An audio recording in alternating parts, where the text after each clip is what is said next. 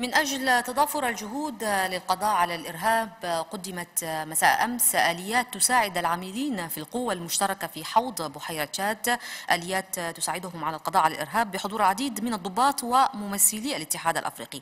آدم حنفي والتفاصيل.